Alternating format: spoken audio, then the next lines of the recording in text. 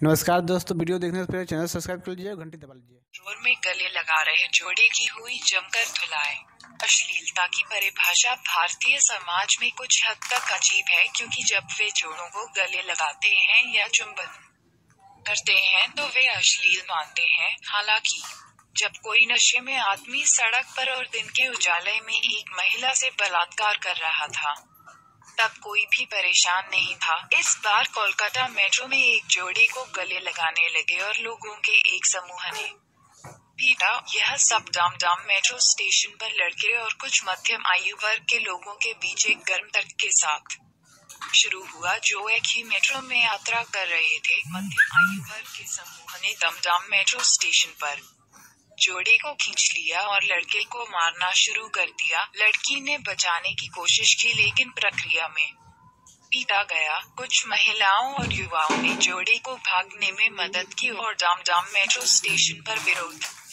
प्रदर्शन शुरू होने के बाद इस घटना ने एक विरोध शुरू किया और प्रदर्शनकारियों ने अपराधियों की गिरफ्तारी की मांग की है। यह घटना सोशल मीडिया पर भी वायरल हो गई है और लोग जोड़े को अपना समर्थन दिखा हैं ने लिखा कि भारतीय लोग एक जानवर की तरह व्यवहार करते हैं दुर्भाग्य से। यह दुखद वास्तविकता है, जब वे संख्याओं में भारी हो जाते हैं तो वे निर्दयी बन जाते हैं। कई ट्वीट करने वालों ने इस घटना को और हवा दी और यहाँ कहा कि क्योंकि कोई भी छेड़छाड़ नहीं कर रहा है और जब वे कहते हैं कि जोड़े एक दूसरे को गले।